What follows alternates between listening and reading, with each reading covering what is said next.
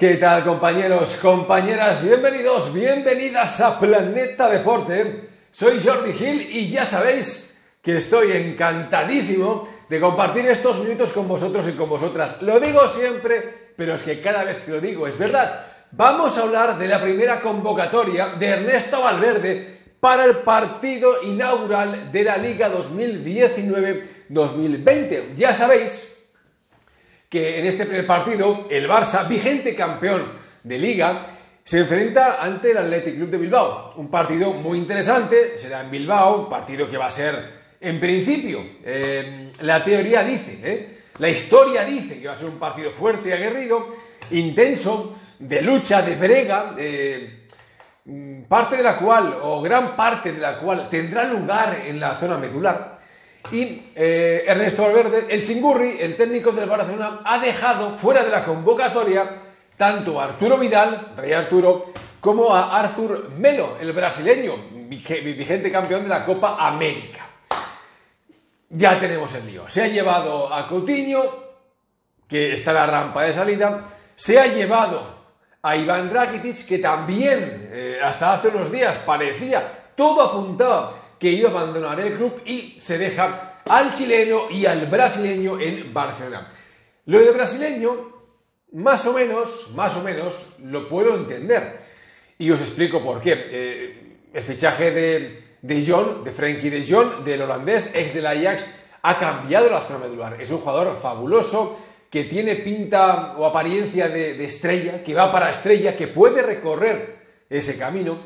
Y obviamente, si juega Busquets, que aparentemente debería jugar por lo que es, representa, ha sido y todavía es, y quizás será algún tiempo más, y también está De Jong, tampoco quedan tantas vacantes en la zona medular del Barça como para que Arthur me lo juegue, un jugador más bien de toque, jugador eh, de precisión, técnico, habilidoso, pero claro, te enfrentas al equipo al que te estás enfrentando, que no es, no es un equipo sencillo, es un equipo que, que apuesta por la batalla. Talento, calidad, pero sobre todo batalla. Entonces, eh, con, con De Jong, Busquets y Arthur Melo, el equipo va a estar cojo. Entonces, puedo comprender que Arthur Melo, eh, para este partido concretamente, no esté en la convocatoria, además que estuvo en la Copa América, eh, hasta la final, etc. La cuestión es Arturo Vidal, porque el nombre de Arturo Vidal está sonando también como, pues bueno, que puede salir del Fútbol Club Barcelona.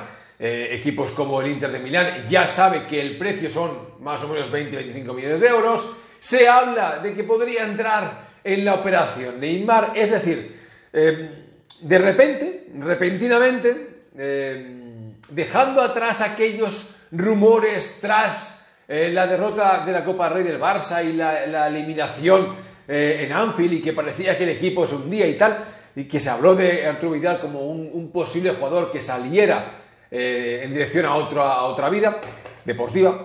Eh, dejando atrás esos rumores de aquella época, mm, Vidal se iba a quedar en el Barcelona.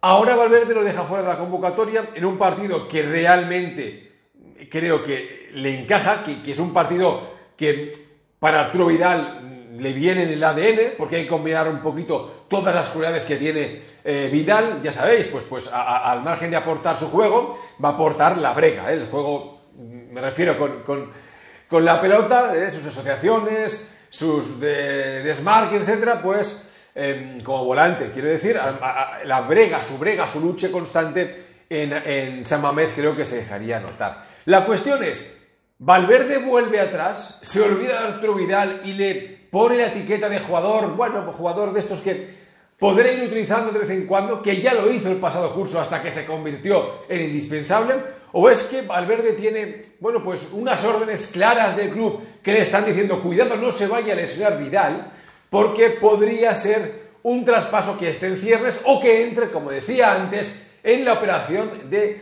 Neymar. Ya sabéis que el Barça y el PSG llevan ya algunos días intensificando las negociaciones porque el Barça quiere a Neymar y el PSG quiere, de alguna manera, que se lo lleve a coste exagerado.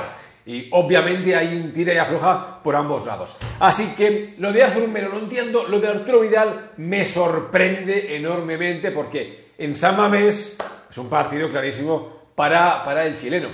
Ya veremos qué es. Os pido vuestra opinión. ¿Qué pensáis? Eh? ¿Consideráis que es oportuna la ausencia de Melo y de Vidal? ¿Creéis que Arturo Vidal está en la rampa de salida y que en estas próximas dos semanas eh, podrían haber novedades en torno al jugador chileno?